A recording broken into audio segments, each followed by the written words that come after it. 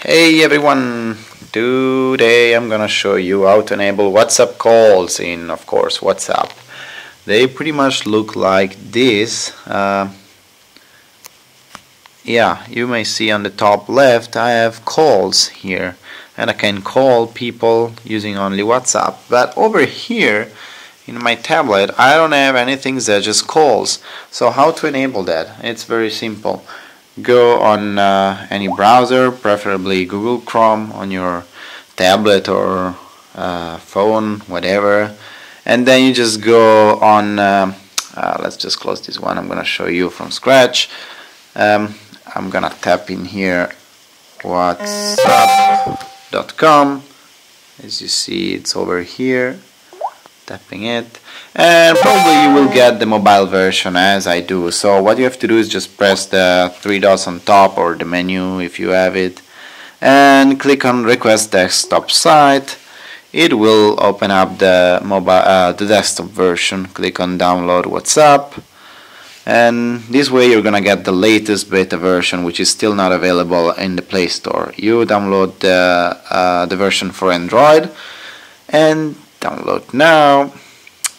And it will ask you if you wanna really download the file because it may be harmful and it may blow up your phone and so and you know, let's just download it.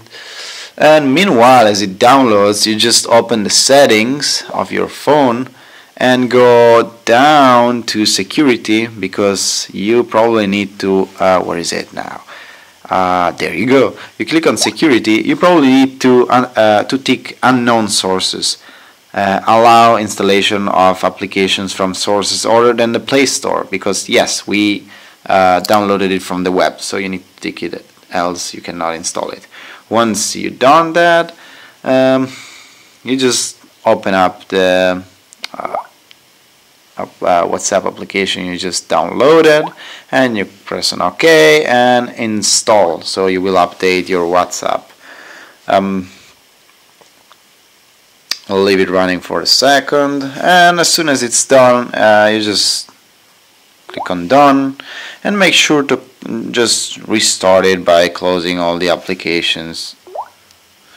Um, at this point open WhatsApp again and this is the tricky part because you still don't have the uh, the thing on top. So you need a friend or somebody you might might be able to find him on XDA forums that has WhatsApp calls enabled like I do over here. So what I'm gonna do now is um, call myself which is sort of inviting myself. So I'm gonna click on call and as you see I received the call here and I'm just gonna hang up because yeah it's echoing and at this point look at that I have the calls over here which I can of course now use and call myself. Doesn't that look great?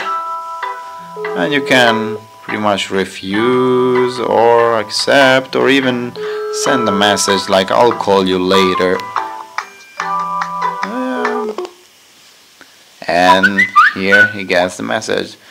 Can't talk now, call me later yeah, I will for sure. Well, so yes, enjoy, and um, if you have any question, please comment. See you.